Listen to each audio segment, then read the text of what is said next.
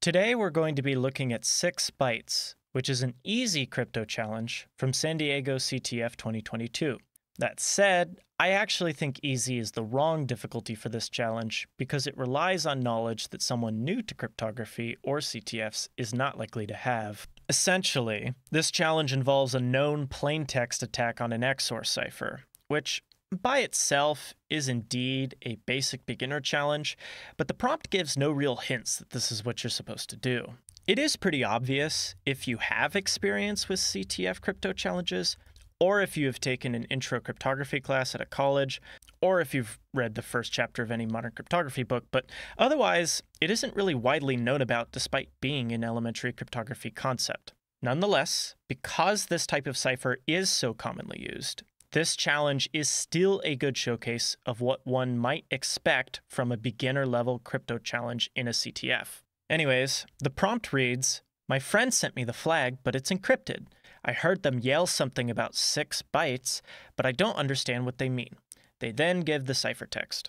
So, what we already know is that we have the ciphertext of the flag. We also know from the prompt and the title that six bytes are important. That's bytes, B Y T E S. The ciphertext isn't six bytes, and the plain text probably isn't six bytes. So the thing that must be six bytes is the key. Now, the length of the key only matters if we're supposed to recover it in some way. With XOR in particular, a short key means that the key is used repeatedly, like so.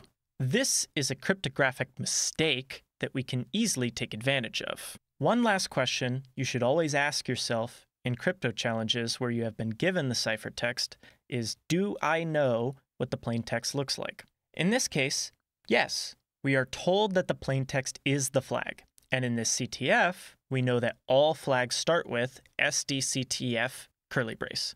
Notably, this flag preamble is exactly six characters or six bytes, which happens to be the length of our key as well. This is not a coincidence. Because we know this, we should be looking for a way to perform a known plaintext attack. Again, if you have crypto experience, then this is probably the part where you would try the XOR cipher. All the XOR cipher is, is converting our message to binary and performing a bitwise XOR operation between each bit of the plaintext and the key to get each bit of the ciphertext. The bitwise XOR is defined by the simple operation of returning 0 when the two bits are the same and 1 when the bits are different. The XOR cipher has the property of symmetry, meaning that you can apply the operation between the plain text and the secret key to get the ciphertext, and you can also apply the operation between the ciphertext and the secret key to get the plain text. What isn't pictured here, and should be, is the third property that we abuse for known plaintext attacks. We can also XOR a known portion of the plaintext and the ciphertext to get the original key. If the original key happens to be short, say 6 bytes, we might also be able to recover enough of the key to decrypt the original ciphertext. We can put this into action using the website CyberChef, which you can find on Google. It is a very common tool used in all categories of CTFs that allows you to quickly compose and apply basic data manipulation operations without needing to download any software or whip out Python. If we put our ciphertext up top and select the XOR operation, we can give it the portion of the plain text that we know, and it will apply it and hopefully give us the original key. Now note because I'm using text instead of hex here, I need to select UTF-8 in the XOR module.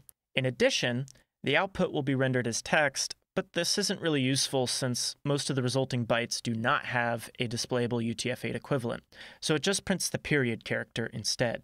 We can apply the operation to hex to get the same information as viewable hexadecimal digits. The first six bytes of these are the ones that interest us as potentially being the key, so I'll copy these somewhere safe. Next, we can get rid of the to hex operation, switch the XOR module back to hex mode, and type in the key that we got earlier. As I type this out, notice how the first six characters of the output slowly turn into SDCTF one character at a time. Once we finish entering in the key, which is indeed six bytes, we are left with the plain text, which is indeed the flag that we were looking for.